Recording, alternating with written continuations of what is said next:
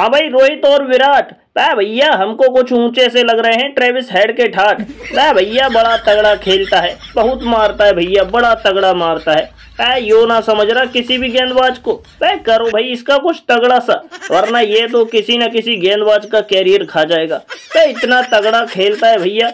हम तो ये सुन रहे भैया अपने बल्ले से ये खूब मचाता है तबाही और इसका मन होता है उसी गेंदबाज को दे देता है। एक ओवर में तीस रन कुटवाने की दवाई अभी इसने कल परसों ही भैया उसको मारा है इसको सैम करन को बेचारे को मार मार के भेड़ बना दिया इसने। अरे धोनी भाई, बिल्कुल सही कह रहे हो तुम। भैया, ये तो हम भी देख रहे भाई, ये इतना तगड़ा कैसे खेलने लगा है? ये मूछों का खटोला ससुरी वाला एकदम लुल खिलाड़ी है। एक बार इसने हमको वर्ल्ड कप में हरवा दिया, उसके बाद इसको लुल बनाने लगे हम लोग।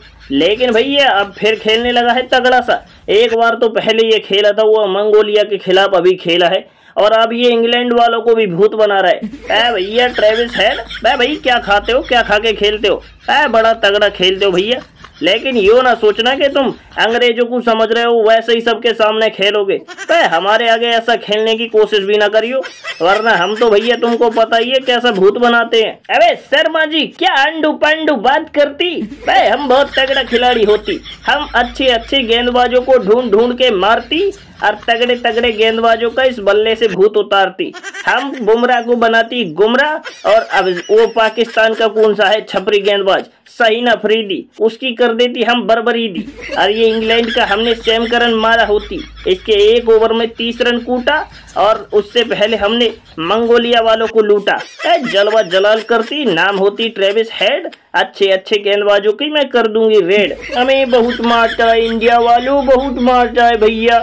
समय समय की बात है समय न किसी के हाथ। और इसने हमको ऐसा मारा, समझ में नहीं आ रहा, अभी दिन है कि रात। ए भैया, एक ओवर में तीस रन हमारे खिलाफ। बड़ी किस्मत फूटी है और तीस रन जब से पड़े हैं, हमारी तो रातों की नींद भी टूटी है। हमें नहीं होगा भैया सेम करण हमसे भी नहीं होगा भैया, तुम्हारा दुख देखा नहीं जा रहा। इतना मारा इस साले बदतमीज ने। इतना कौन मारता है? एक ओवर में तीस रन आए।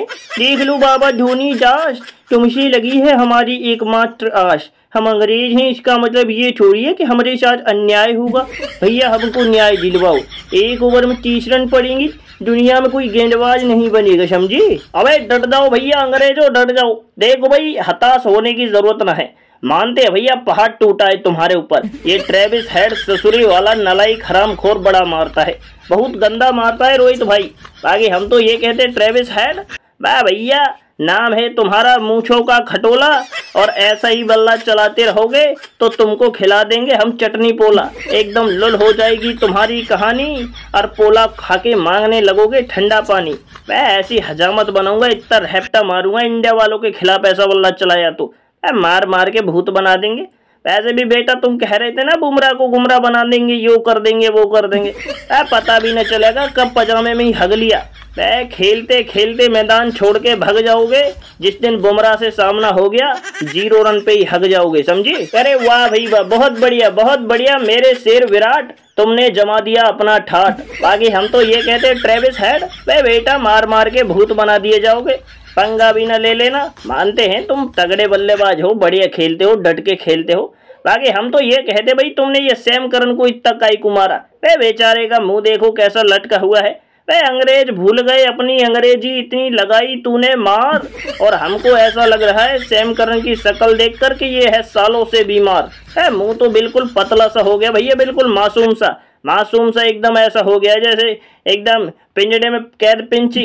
भाई देख लो भाई, पंचर ट्यूब हो गई है, इनकी कहानी तो लोल हो गई भाई तुम्हारी कुटाई की वजह से। अबे, ये किसी को भी कूट ले, किसी के भी आगे गाड़ ले अपने झंडे।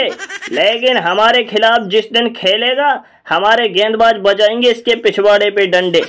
तगड़े तगड़े गेंदबाज है भाई हमारी टीम में। मार मार के बना देंगे इसको भूत और मैदान में ही इसका निकल जाएगा मुँह। हवा टाइट हो जाएगी। वैसे तो यो है कि तगड़ा बल्लेबाज है भाई डट के ही खेलना पड़ेगा। लेकिन जलवा हमारा भी तगड़ा है। भूत बना देंगे ससुरी वाले को।